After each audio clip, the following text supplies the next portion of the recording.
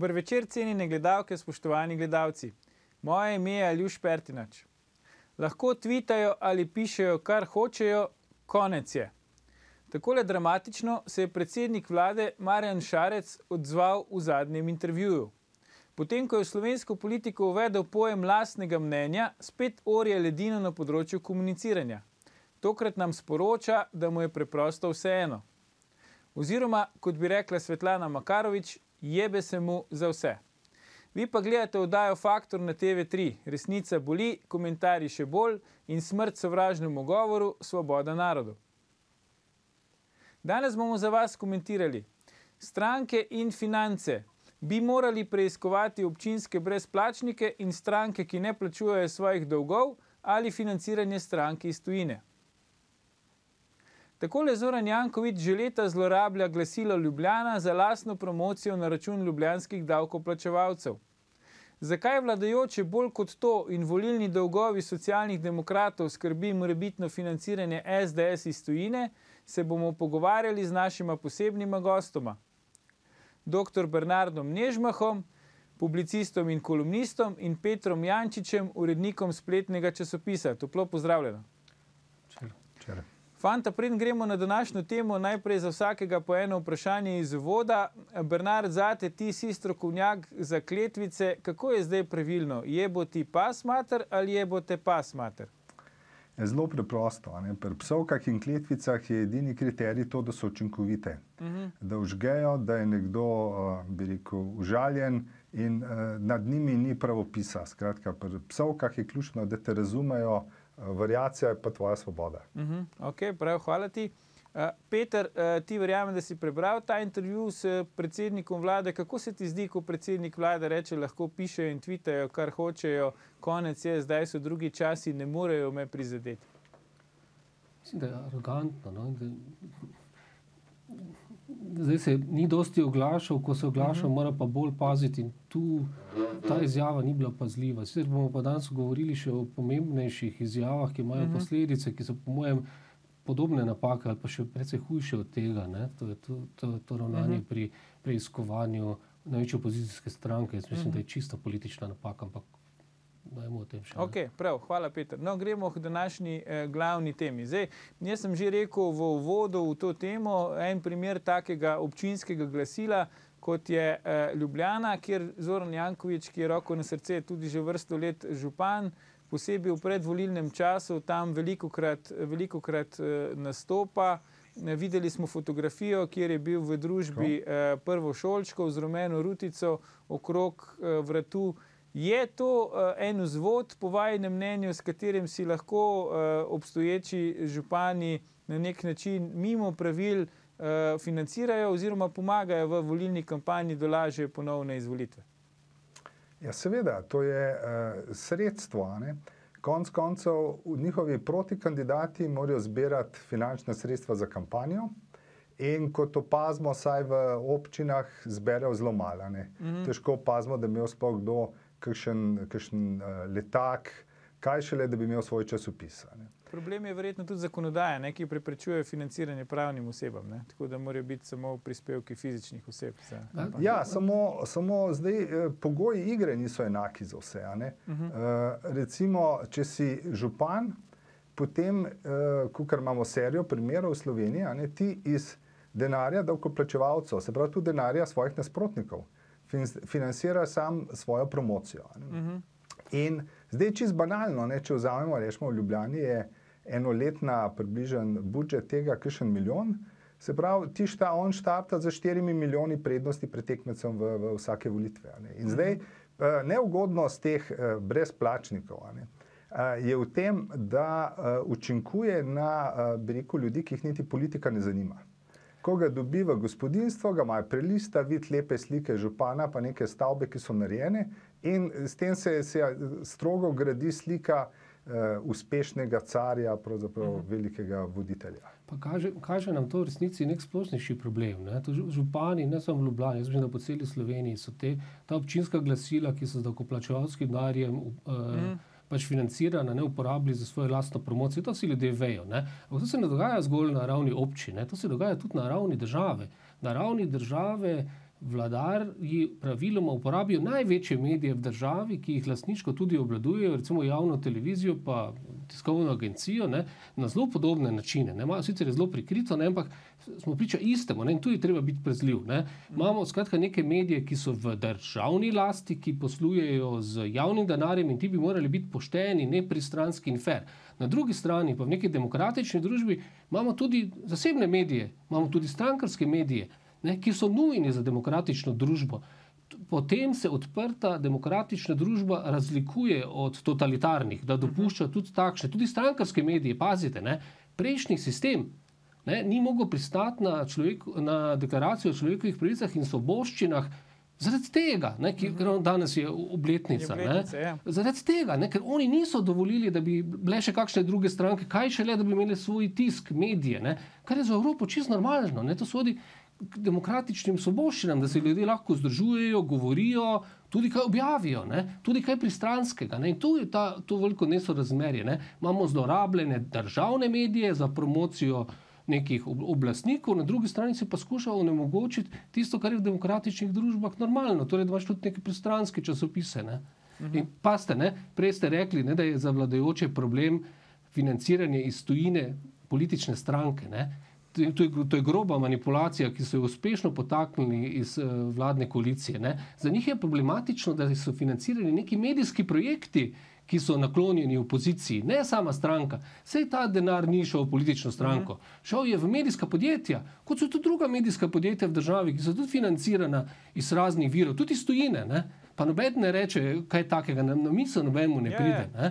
Tukaj treba biti pazljiv, ko manipulirajo in natančno. Ja, sej, sej jasno, vemo, vemo, o čem govorimo. Pač preiskovalno komisijo so po lastnih besedah ustanovili, da bodo pač preiskovali morebitno financiranje političnih strank iz eh, Tunine. Eh, Bernard, zakaj po tvoje, recimo, računsko sodišče, druge nadzorne inštitucije gledajo stran pri tem očitni zlorabi občinskih glasil, ne, ki so verjetno v funkciji tega, da obveščajo občane, meščane o tem, kaj se v občini dogaja, in postajajo neki fenzini, neki pač promocijski pamfleti eh, županov. Ja, jaz se bojim, da um, pravzaprav nimajo drznosti, ker tukaj bi bila ena sama poteza. Uh, preprosto to vrstnim, uh, uh, se pravi, glasilom izdati negativno mnenje, ne? ker to je uh mhm. -huh. popolna zloraba. O tem niti ni treba kaj dost uh, razmišljati, ker je evidentno, ne, evidentno uh, na kakšen način se uh, državni denar, pravzaprav ali pa denar vseh v neki občini, prerasporeja pro bono pač župana. Uh, problem je še v ne, nečem drugem. Ne? Uh, jemljemo ta glasila že kot nekaj samoumevnega. Ampak že konc stare Jugoslavije v Ljubljani ni, ni bilo revija Ljubljana. Uh -huh. Se pravi, to in zadošča bi tudi, da bi šli malo po svetu, pogledati po mestih.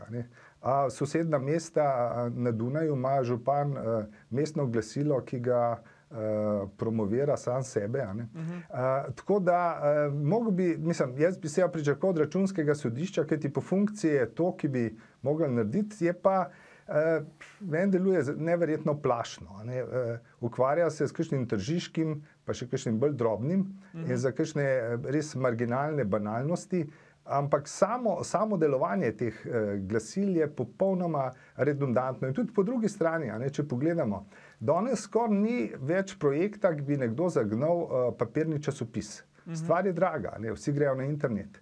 Mesta imajo pa, oziroma občine imajo pa očitno tako količino prostega denarja, da si lahko mislijo nekaj, kar si podjetniki ne morejo misliti. Ne? Treba je biti vseeno malo bolj natančen. No? To je ja. spet tista ista, ista prevara, ki jo dela vladna koalicija pri tej preiskovalni komisiji. Ne?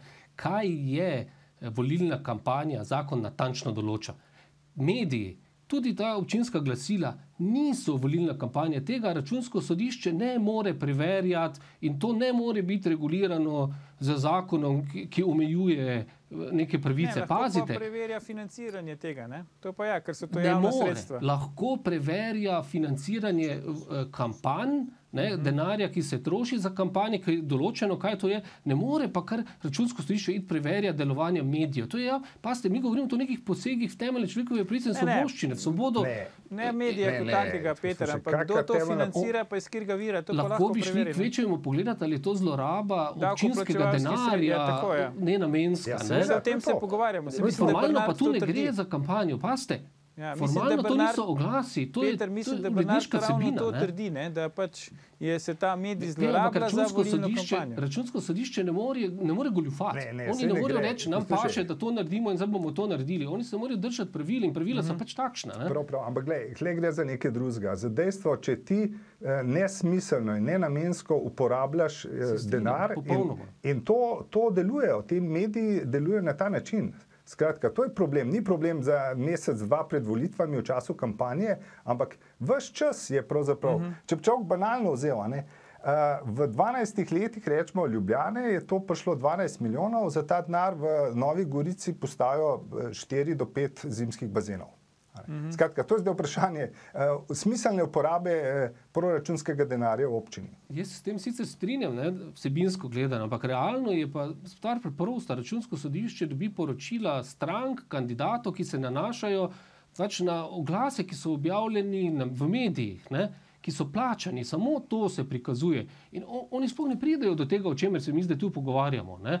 To je neka druga zloraba, ki bi jo morali gledati, ko gledajo poslovanje cele občine ne? in bi potem morali sebinsko preverjati, ali je ta časopis bil nagnjen ali ni bil. Mislim, da je to zelo težko delo za računsko sodišče. To moramo mi sami v medijih upraviti, opozoriti, da je to zloraba, povedati ljudem, da je to nepošteno do njih, da njih odnar krade župan. Uh mhm. -huh. Mi moramo, ne računsko sodišče ne prelagajmo odgovornosti na revizorje, tam, kjer jaz mislim, da revizorji težko razrešijo stvari. No? No, to je stvar na večjih ravneh. Vsekakor je nujna in kar uh, samoumevna medijska kritika in tudi državljanski protesti. Konec koncev, tle gre tudi za nasilje, da recimo prišljeno nagrajenc. Uh, Se pravi, prevajalci in esejist Alež Berger se je nekoč pritožil na, na pošto, zakaj mu uh, mečejo v kaselj, se pravi, propagandna glasila, smetija, ne. misleč na glasilo Ljubljana. Skratka, na celi črti je seveda to problem. Ampak v vsakem primeru je pa računsko sodišče tukaj zato, da uh, se ukvarja z nesmotrnim trošenjem javnega denarja. En del pa je, ni pa edini faktor, definitivno ne. A so to, Peter, v bistvu sploh polnokrvni mediji? Ne? Ti praviš, to je stvar uredniške politike. Zdaj, je to, mislim, kdo so tam ti ljudje, pač, če so plačani iz mestnega proračuna, na nek način so odvisni od dobre volje obstoječega župana. Lahko govorimo tu v bistvu na nek način o polnokrvnih medijih ali je to neki sui generis? Pri vseh, pri vseh državnih medijih imamo ta problem. Sej, niso samo ta občinska glasila v Ljubljani takšna. Se je tudi javna televizija državna, STA je državna, Telekom je državno podjetje, ne, uh mhm. -huh. ki izdaja kup nekih medijskih projektov. V Sloveniji je zelo malo resnih medijev, ki ne bi bili, ne bi bili državni. Ne. Tudi sicer so v kampanji imela ne, neka tovarniška glasila. Pomembno ja, vlogo, in tam imamo spet isti problem. Delu, ja. Ampak podjetje nam lahko ima svoje tovarniško glasilo. Ne? To, to ni, ni, ni problematično na koncu koncev. Ni, ni enostavno, ampak ni pa mogoče reči, da je to zdaj, kako bi rekel, čista kampanja in da so, da so vsi ti mediji zgolj oglasi. To pa ni res, ne? in tu, tu nam pade. In ne more. Ne moramo iti, kar reče, da mora računsko sodišče to na tej ravni preverjati. Da je to sredstvo. Kaj pa pravite, kampanje, recimo, ne? generalno na ta fenomen, da vse več zasebnikov nekako v narekovajih želi imeti svoj medij. Ne? Vemo primer Stojana Petriča in dela, Petan dnevnik, recimo Hakl večer, zdaj Milan Mandarič, menda kupuje primorske novice. Zakaj po vašem mnenju želijo ti uh, podjetniki, ne, taki in drugačni, imeti vaj, uh, uh, svoj, svoj medij? Ja, to je tradicija. To v, tudi v svetovnem žurnalizmu to ni nič posebenega. Vedno uh, se splača imeti medij, biti njegov lasnik tudi zaradi uh, lastne, lastne propagande in promocije svojih poslov. Seveda, problem nastane, če je to prvi namen. Ne? Prvi mm. namen medija bi lahko bil, da funkcionira na ta način, da živi od bodi si naročnikov, od svoje gledanosti. Ja, in samo sekundaren bi bil, recimo, kakšni interesi lastnika. Ne. Pri nas je kdaj problem to, da, da je očitno za lastnika bolj pomembno, da skozi mediji lahko pravzaprav promovira ideje, s katerimi dobi recimo posle pri vladi in vlado bodi si podpira, kadar je pač slabo sodeluje z njim, jo ostro kritizira. Uh -huh. to, to je problem. Seveda je pa v Sloveniji še toliko večji, zato ker je ta spektr, sploh papirnih dnevnikov, tako ozak, ne, tako eno, enopolni, a ne politično. To bi rekel, da Slovenija je velika izjema. Ne? Če pogledamo vzhodno Evropo, so v glavnem tam Nemci, pa te zahodne države pokopile večino tiska in ga reformirale. Celo na Hrvaškem se je to deloma zgodilo, v Sloveniji praktično nič. Ne. Razlog za to jaz mislim, da bi zelo preprosto ni šlo za take interese. Poslovne, ne, zgolj tudi, ne, ampak je šlo za interes tudi neke politične elite, da še naprej obvladuje ta nekoč vsa glasila uh, Zveze komunistov, ne, pač prejšnjega režima in to jim je tudi uspelo. In, uh, Neke težave so bile, ne? deloma, je, ja. deloma so vlastnini, novinari postali lastniki, potem je pa država skočila, recimo, da je eh, dobila večer pa delo nazaj preko uh, najprej Šrota, zdaj na koncu pa Petrič tukaj. Bomo na tej točki si vzeli krajši predah, se vrnemo po oglasih, ko nadaljujemo s komentiranjem financiranja političnih strank. Ostanite.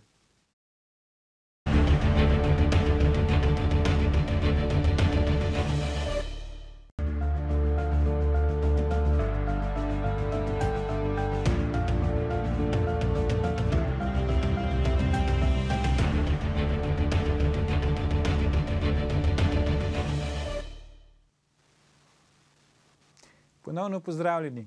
Z nami sta še vedno dr. Bernard Nežmah in Peter Jančič, pogovarjamo pa se o tem, če se ne plačujejo politične stranke in kdo jih plačuje. Eh, Peter, ti si prej bežno omenil ta idrijski primer, ne? imamo na fotografiji, to pa je v bistvu tovarniško glasilo, tako rekoč kolektorja, kjer so pred volitvami eksplicitno podprli Mirando Grof eh, Ferjančič, kandidatko za, za županjo, ne? Spodaj je celo pač pripis, da podpirajo njeno, njeno delo in tako naprej.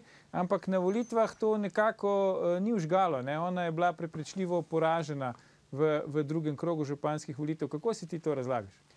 Zdaj, ne, več kot samo uživala to podporo. Ne. To je tudi nekdanja pomembna državna sekretarka na finančnem uh -huh. ministrstvu, prejšnji vladi. Ne, uh -huh. v, podprla jo je v kampanji SD, ki je v prejšnjem mandatu vodila Idrijo. Ne, Uh, podprlo jo je največje podjetje, v, ali pa eno od dveh največjih podjetij v Idri. Ne, to kaže, da ljudstvo ni vedno nas, pač naklonjeno tistim, ki imajo oblast pa moč, ne, in da pride tudi nekega upora. In tu, tu smo bili priča točno temu, nekemu uporu. Ne. Uh -huh. Je pa ta ta oglas zelo zanimiv z tega strokovnega vidika, kako ločiti. To, to, kar smo se prej pogovarjali, ja. kaj je sodi v kampanjo, kaj pa je čas, normalno uredništvo. Ne? Če bi oni objavili uh, nek uredniški uvodnik, ne? ker bi urednik rekel: Jaz podpiram Mirando, ja. ona je super, ne? treba jo za njo glasovati, s tem ni, ni nič narobe, uh -huh. ne mhm. more nič očitati. Ne? Zdaj pri tem, ki pa je to na vides oglas, ne? pa mhm. dejansko lahko pogleda računsko sodišče. Ne? In preveri, ali je ona plačala polno ceno za ta oglas. In če ni plačala polne cene, ne, uh, vse to še le bo, sicer ki plačujejo čez čas, ne, jo bodo letela zelo visoka globa. Ker jih pač zakon določa, ne? in ona, in podjetje tudi, ne? ker to je pa nezakonito financiranje kampanje. Ne? In, to je ta ločnica. Sej, če pogledamo, isto se je zgodilo v primeru, ne? v nekih glasilih od uh, skupine Salamon, je pač šef kampanje plačal mhm. glase, so jim dali 80-odstotni popust in zaradi tega so mogli dati cel ta denar v dobrodelne mhm. namene, mhm. dobili so vel, veliko globo, sramota, ne, tudi podjetje bo dobilo kazen ne, na sodišču. Ne, če bi pa to isto podjetje ne, jim ne dalo popusta, bi jih pa v vem, 80 odstotkih časopisa kot uredništvo podprlo, pa s tem nič narobe in noben ne more nič očitati, to pa imajo pravico. Ne. Uh -huh. Tu je ne, neko to nesorazmerje, ki ga je treba videti. Ampak pač to, to je modern svet, imamo svobodo govora, tiska, medije, ki so svobodni in se ne more vse regulirati, lahko se pa oglaševanje in to počne zakon, ne regulira tega drugega dela. Ne? Tu je treba biti previden. Uh -huh. Ja, tale primer z, z tem glasilom uh, kolektorja je odličen za primerjavo z mestnimi uh, ča, uh -huh. listi. Namreč uh, tovarniška glasila so v sebi tako jasno profilirana, da seveda ne morejo prepričati nikogar. Ne? Ja. Medtem ko mestna delujejo pravzaprav neutralno. Ne. Prikaz, delajo se kot da prikazujejo stanje ulic, eh, ne vem, dreves, česar koli. Vmes pa neopazno, ali pa celo opazno, ne, pa lansirajo slike, podobe svojih kandidatov. Ne. Zato eh, lahko pravzaprav imajo veliko večji učinek, ker so močni tam, dosežejo te, ki jih klasična propaganda ne dosežejo. Medtem ko s tovarniškim glasilom pa danes eh, pa iluzorno pričakuje, da, da je to neko orožje. Čeprav primer je tokrat slab, ne? ker ta, to oglaševanje ni imelo nobenega učinka. Odločno je izgubila v drugem krogu in pač. Ne, se Ja, seveda, da se to pravim. Se Ja, da pravi, taka- Bernard, da, da tovarniško ja, ja. glasilo ne more tako vplivati kot recimo nekaj, kar imajo ljudje za neutralno. Ampak zakaj po vašem mnenju recimo mediji v Sloveniji tako bežijo od tega, da bi se uredniško opredelili za to ali ono politiko, zaradi tega ali onega kandidata, ampak to vse neki prikrito pod krinko objektivnega poročanja vseh poteka. Ne, glej, se ni prikrito, a ne, se kdo uh, jemlje časopise ali pa gleda Mhm. mm. spletne Se vidi, strani ja. televizije, to takoj prepozna. Ne. To je samo na, na ravni teksta, ponavadi ni deklarativno, redko kdaj se mm -hmm. to zgodi. Ampak eh, je zadošča, ne, se zadošča, da bralec vidi, v katero smer eh, pač teče medij. Zdaj, dobro, dobro pojasnilo bi bilo, da to počnejo zato, ker se zavedajo, da imajo bralci na levi in desni in pač ne moreš golfati in pretirano navijati. Ne. Vsaj, ko gre za največje dnevnike, ni, ni pa v resnici to razlog. No. Vsi, vsi vemo, da ti veliki dnevniki so se te, te vlogi, da bi bili neutralni, pošteni do vseh že davno odrekli. In ni- niti ambicije te ni. No. Sam sem bil nekoč urednik, ki je postavil točno te kriterije, ki veljajo tudi na zahodnem svetu, ne, o neki nepristranosti, uh, fair in točnem poročanju, in sem bil deležen strašnega posmeha med novinarji ne, in tudi novinarski skupnosti takrat, kar, kar je zelo lepo pokazalo, kje smo. Ne. Zdaj, ko smo omenili že socialne eh, demokrate, ti si dosti pisal o tem problemu, uh, Peter. Ne? Namreč, da stranke, ko pač ne po, poravnajo računov za volilno kampanjo, ne? oni so imeli tudi štiri leta praktično zelo velik dolg, ki je šel v enem, enem času tudi čez 100 tisoč evrov, še od volitev leta 2014. Zdaj letos so bile spet verjetno dve finančno zahtevni kampanji, ena za lokalne volitve, prej so bile še državno-zborske volitve. Zakaj recimo se to strankam tolerira in zakaj eh, v državnem zboru ne ustanavljajo preiskovalnih komisij, ki bi si zadale za cilj pač eh, preveriti, zakaj stranke ne plačujejo svojih volilnih računov? Bistveno večji problem je bil, kot je zdaj prikazan. Ne. In dalj nazaj, začelo se je tam leta, eh, osem let nazaj. Ne. Takrat je SD končala volilno leto z pol milijona neplačanih računov. Uh -huh. Eh, In tudi LDS je imela ne, ne, ogromno neplačanih računov. Tudi za res je imel ogromno neplačanih računov, pa tega noben ni problematiziral. Ne. Uh -huh. Zdaj, pred štirimi leti, oziroma pred petimi leti, so zelo zaostrili eh, zakonodajo, ki iz, uvedli izjemno oster nadzor, prepoved, da bi podjetja smela karkoli podariti. Ne, Uh, in, in tudi sicer, kdorkoli kaj da, vse, vse se mora zavesti. ne. In, in tu se pa pojavi problem. Ne. Potem so bili nenadoma ena podjetja, pa ena, ene stranke kaznovane, ki so dobili ne vem, 10-20 tisoč evrov, na drugi strani smo imeli pa SD, ki tudi še pred štirimi leti na volitvah po tej reformi 100 tisoč evrov računov podjetjem sploh ni plačala. In niti niso zloterjala ta podjetja, ne? ker to je pa v resnici tudi nedovoljeno darilo ali pa posojilo, ki tudi ni dovoljeno, ker ga lahko samo banke dajo. Ne kot Džudžičeva na nek, na nek način, kjer je bil velik škandal. Ne? E, zakaj je to šlo skozi? Samo reči, da, da, da zdaj, ko se nazaj gledam, se sam čudim, ampak verjetno zaradi tega, ker pač so te stranke strašno vplivne in obvladujejo tudi medije, ker to je pa popolnoma nenormalno. To je, to je izven pameti, da ti ne plačaš računov za kampanjo. Zdaj, kje se je zrušilo, zrušila ta logika? Zrušila se je v resnici, ko sem odprl zgodbo o Mariborskem županu, prejšnjem, ne, ki je zdaj Ja. ravno padel po štirih letih, ko sem po prejšnjih lokalnih volitvah predstavil, da on polovice vseh računov za župansko in za svetniško kampanjo ni plačal. Ta župan Fištrovec pa ni užival te zaščite kot SD. In je računsko sodišče šlo zaradi tega novinarskega pisanja pregledati to kampanjo, in zadeva je potem končala na sodišču, in je bil organizator kampanje obsojen, in to je bila velika sramota za župane. Jaz mislim, da je eden od razlogov, da je padel že v prvem krogu, tako kot je padel. In je tudi prav, da je padel. Mislim, ne, in prav, da se tu spostavijo neki standardi. Zdaj, SD je medtem sicer zelo zmanjšala te dolgove. In normalno bi bilo, da se zadolžijo na bankah in to se poplačajo. Stare dolgove kampanje. To je nezaslišano, da ne, da ne poravnajo. No? In da po- potem pa drugim solijo pamet, ki so vzeli posojila, zato da plačajo račune, ki oni pa jih ne plačajo. in sodelujejo v neki preiskovalni komisiji, kjer bojo drugim solili pamet za tisto, kar so sami dosti hujše naredili. Da, ampak zdaj, letos so spet bili dve močni kampanji, oni so porabili. Uh, slabih 400 tisoč evrov na, na državno zborski, jaz mislim, da so na lokalnih tudi ogromno porabili, in nisem pripričan, da -huh. niso spet zelo v rdečih številkah. To bomo čez en čas videli. Ker, Ampak, Bernard, dokler so na oblasti, si očitno lahko privoščijo, da ne plačujejo volilnih računov. Ne? Ja, seveda, samo tu še en aspekt, ki je, še bolj dokazuje eh, koruptivnost. Uh -huh.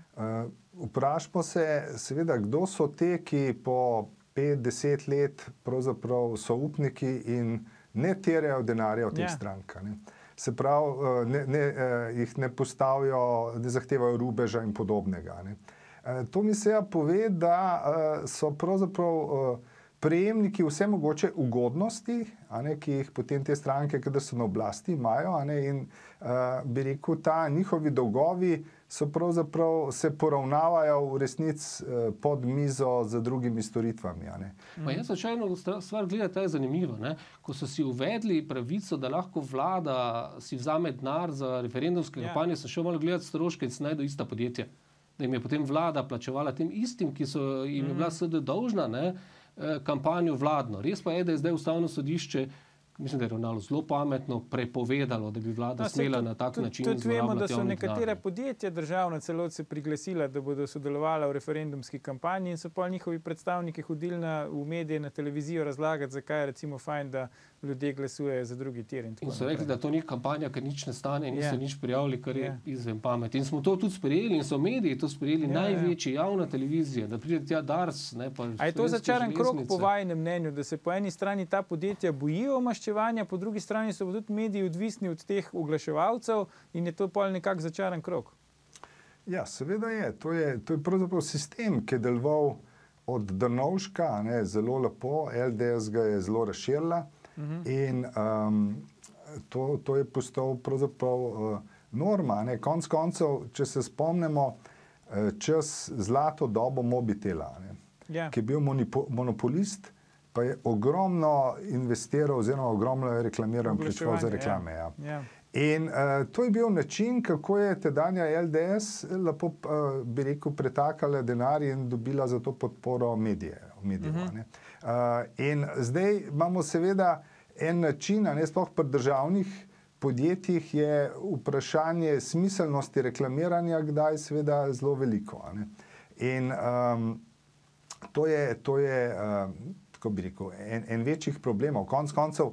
Sej, če se spomnimo uh, poskusa ne, ustanoviti uh, desni uh, dnevnik, kot ga je imel Danilo Slivnik, uh mhm. -huh. je pravzaprav v hipu propadel zato, ker so ga bojkotirala sistematično uh -huh. uh, podjetja v državni lasti. Uh, tako da ta medijska, uh, oziroma tako bi rekel, poslovniška uh, demokracija v smislu, uh, uh, bi rekel, zasebnega kapitala, ki, ki ravna recimo, uh mhm. -huh. po drugi logiki, lahko, ne, je en, en hud handicap Slovenije.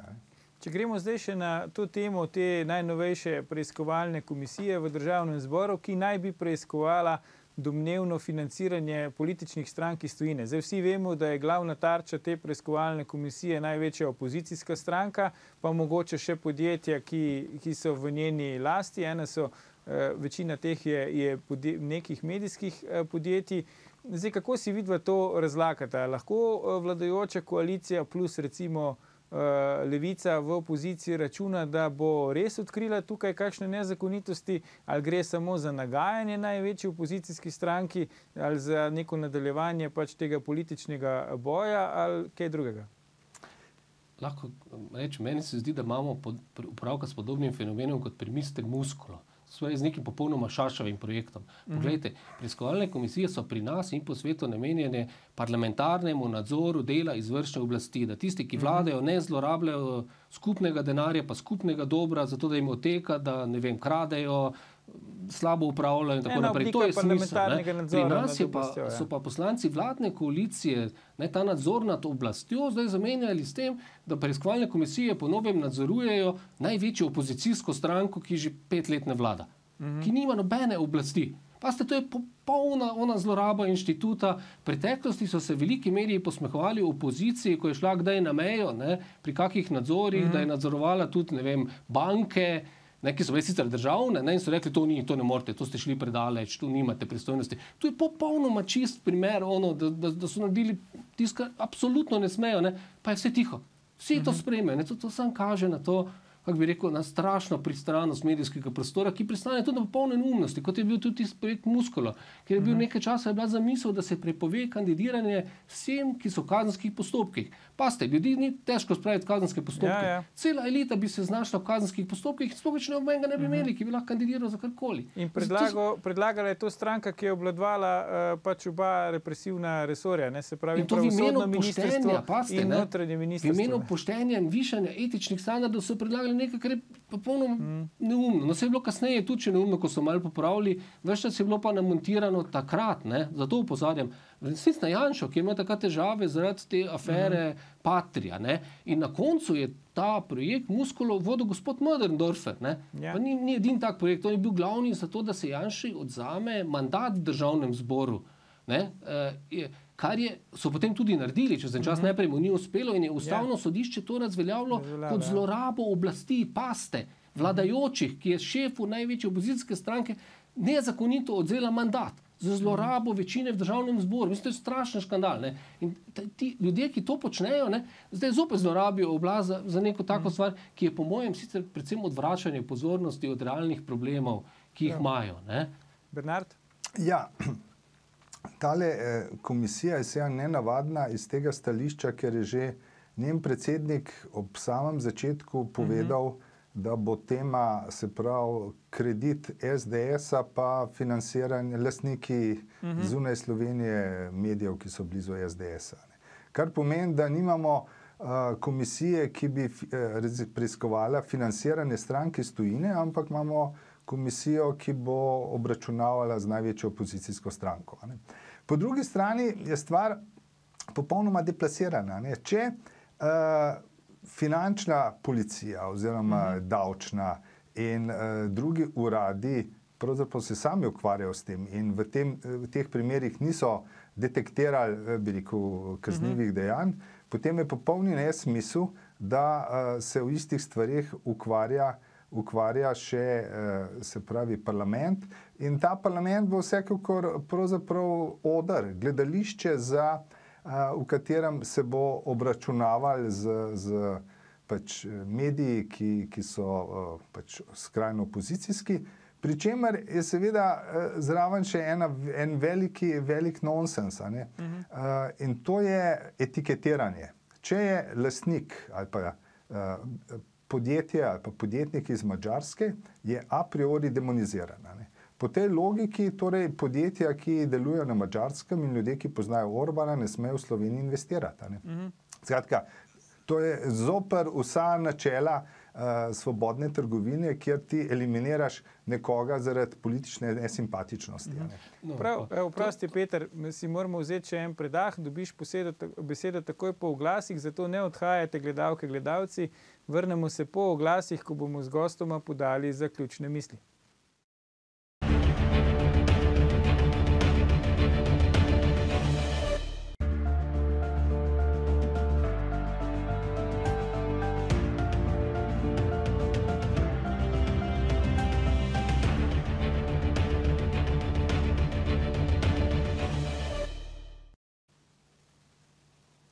Dobrodošli še zadnjič na COJ. Peter, ti si želel pred oglasi še nekaj dodati k debati. Ne? Ja, to opozarjanje, da je ta preiskovalna komisija čist primer zlorabe, nikakor ne pomeni, da nadzor in preverjanje ni potrebno. Ravno to je point. Ne? Nadzor in preverjanje uh -huh. v mhm. tem primeru poteka. Primer Džudžičev je šel na računsko sodišče, tako je tam so dejansko, je SDS kršilo zakon, takšno posojilo ni dovoljeno. Uh, Oni so poslali to na sodišče, poteka sodni postopek v tem primeru. Ne? Stranka uh mhm. -huh. se je odpovedala temu posojilu, najela potem na A-banki 450 tisoč, kar je bilo legitimno. Že prijete okay, sredstva, ja. In zdaj, kaj pa zdaj počne preiskovalna komisija, ko prevzema te posle uh, revizorjev in sodišč da bo še dodatno to privedlo. Mislim, da je čisto politiziranje. In enako, enako velja tudi za druga področja. Ne? Nadzor poslovanja nul, uh, kreditne banke Maribor, ko gre za vem, bosansko državljanko, mm. Ma, to ni njihovo delo. Mm. Investicije yeah. tujcev v slovenski medijski prostor, ja, pa dajmo se pogovarjati o vseh, pa dajmo se pogovarjati tudi o domačih investicijah, ne recimo o prej eh, omenjenem kolektorju. Mm. Se, ta je tudi sporen, ta je tudi političen. To, to ne vodi nikamor, ne? potem ja. pa to, to okay. brez veze. No? Bernard, sklepna misel. Ja, kaj, sklepna misel je pravzaprav to, da so mediji oblika, pravzaprav edina, skozi katero uh, zvemo, kaj se na svetu dogaja, uh mhm. -huh. in v veliki meri nas seveda uh, poskušajo uh, preslepiti, in uh mhm. -huh. ključna drža je seveda, da se človek nekako uh, zna zorientirati in da zna prebrati, kje so manipulacije in kje, kje so irrelevantnosti. Prav. Najlepša hvala, dr. Bernard Nežmah, Petr Jančič, za vajne današnje gostovanje v oddaji.